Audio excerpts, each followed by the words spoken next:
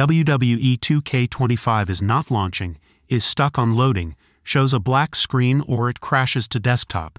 Then watch this tutorial to learn how to fix WWE 2K25 in a quick and easy way.